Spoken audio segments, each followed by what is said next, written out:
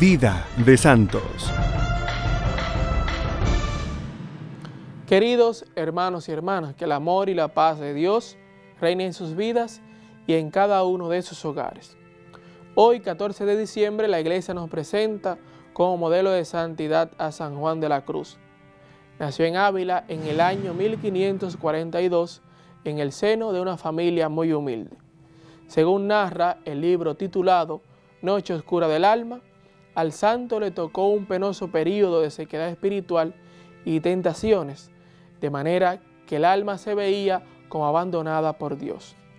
Pero luego vino una inundación de luces espirituales y de santas alegrías y consolaciones que sirvieron de premio a la paciencia con la cual había soportado todo lo anterior.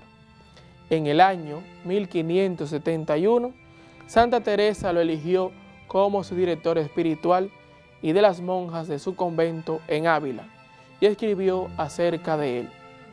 Está obrando maravillas, el pueblo lo tiene por santo, y en mi opinión lo es, y lo ha sido siempre.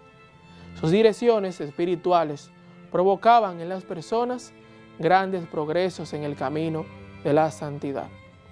Pero de lo que algunos no estaban de acuerdo era con la fundación de padres carmelitas descalzos y por eso dispusieron alejarlo para que la comunidad fracasara.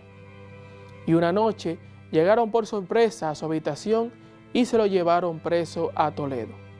Allá lo tuvieron encerrado durante nueve meses en la más inhumana de las prisiones sin permitirle celebrar misa con espantosos calores en verano y tremendos fríos en invierno.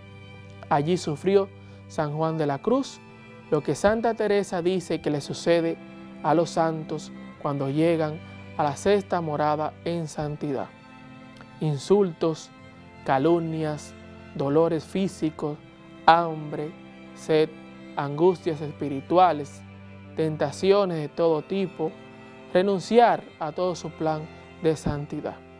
Más tarde, cuando otros le pregunten de dónde ha sacado tanto valor para sufrir toda clase de males, respondió, cuando estuve preso en Toledo, aprendí a sufrir.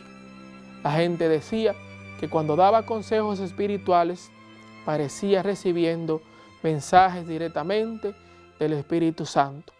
Cuando celebraba la Santa Misa, el rostro le brillaba de una manera especial y las horas que pasaba en oración le parecían minutos.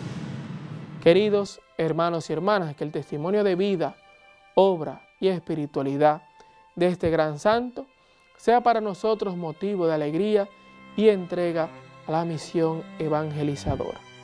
Y recuerda que como San Juan de la Cruz, tú también estás llamado a la santidad. Que Dios te bendiga. En nombre del Padre, del Hijo y del Espíritu Santo. Amén.